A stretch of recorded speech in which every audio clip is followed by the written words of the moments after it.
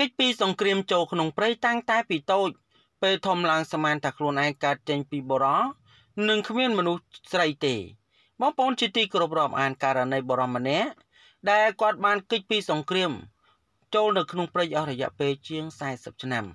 ដែលគាត់រស់បានអាស្រ័យទៅលើព្រៃឈើនិងអាស្រ័យទៅលើសត្វជុំវិញខ្លួន ហើយពុំដែលធ្លាប់ហូបបាយនោះទេរយៈពេល40ឆ្នាំមកនេះនៅពេលដែលបងប្អូន ក៏ដូចជាសាច់ញាតិគិតថាគាត់នឹងបាត់បង់ជីវិតទៅហើយប៉ុន្តែស្រាប់តែនៅពេលថ្មីថ្មីនេះប្រតាសឃើញគាត់បាន បានលាក់ខ្លួននៅក្នុងព្រៃយ៉ាងជ្រៅបន្ទាប់ពីមានអ្នកទេសចរបើចេះតែចូលទៅ ប្រទះឃើញបែបនេះធ្វើឲ្យម្នាក់ម្នាក់គិតថាអូជាមនុស្សដូចគ្នានឹងតើហេតុអ្វីបានជាគាត់មកលាក់ខ្លួននៅក្នុងព្រៃនៅពេលដែលគាត់បញ្ជាក់អំពីមូលហេតុទើបពិតជាមានការភ្ញាក់ផ្អើល បរិះរូបនេះមានឈ្មោះថាហូវ៉ាន់ឡាងសពថ្ងៃមានអាយុ49ឆ្នាំ ដែលបានរស់នៅក្នុងព្រៃនៃប្រទេសយួនជាមួយនឹងឪពុកនិងប្អូនប្រុសឈ្មោះត្រីអររយៈពេល41ឆ្នាំនឹងត្រូវបានដឹងថាគាត់គឺមិនដែលគិតថាមានស្ត្រីនោះទេនិងក៏មិនដែលដឹងថា មានការរួមសម្ព័ន្ធមេត្រីអីដែរបើយោងទៅតាមសេចក្តីប្រកាសព័ត៌មានឲ្យដឹងថាឪពុករបស់ហូវ៉ាងដែលមានឈ្មោះថា ហូវ៉ាន់ថាំងដែលបានភៀសខ្លួនចូលនៅក្នុងព្រៃជាមួយនឹងកូនប្រុសទាំងពីរនាក់អស់រយៈពេលជាង40ឆ្នាំគាត់បន្ទាប់ពីបើកិច្ចនៅក្របបែករបស់អាមេរិកដែលបានទម្លាក់នៅតាមបណ្ដាព្រំដែនហើយធ្វើឲ្យប្រពន្ធនិងកូនរបស់គាត់ពីរនាក់ផ្សេងទៀតបានលាចាកលោកទៅ នៅក្នុងអំឡុងពេលសម័យសង្គ្រាមវៀតណាមនៅក្នុងអំឡុងឆ្នាំ1972នៅក្នុងសម័យអង្គសង្គ្រាមនោះគឺ យួនបានត្រូវរដ្ឋអាមេរិកធ្វើការទម្លាក់គ្រាប់បែកនៅតាមបណ្ដាព្រំដែននៅពេលដែលពួកគេរស់នៅក្នុងព្រៃគឺពួកគេ បានឃើញមនុស្សចំនួន5នាក់ផ្សេងទៀតនៅក្នុងនោះគឺ4ទសវត្សរ៍ហើយក៏បានរត់ចេញអំពីបើពួកគេទាំងនោះរាល់ដង តែដោយសារតែឃើញ ស្រមោលម្ដងម្ដង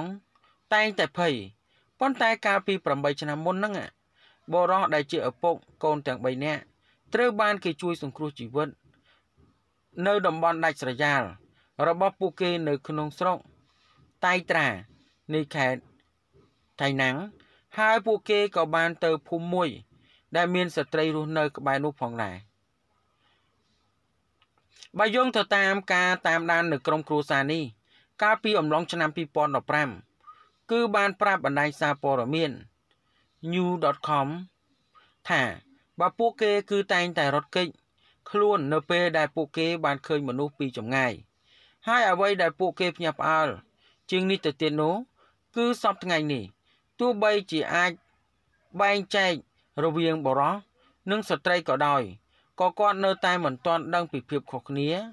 យ៉ាងណាហើយសំខាន់សំខាន់របស់ស្ត្រីនិងបរោះដែរលោកក៏បានបន្តទៀតថាខ្ញុំអាចបញ្ជាក់បានថាឡាង គឺមិនដែលមានចំណងស្នេហាឬក៏ចង់បារួមមិត្តរីអីនោះទេ ហើយភាវកតេរបស់គេក៏មិនដឹងថាបន្តពូជយ៉ាងណាដែរហើយក៏មិនដែលបង្ហាញចំពោះ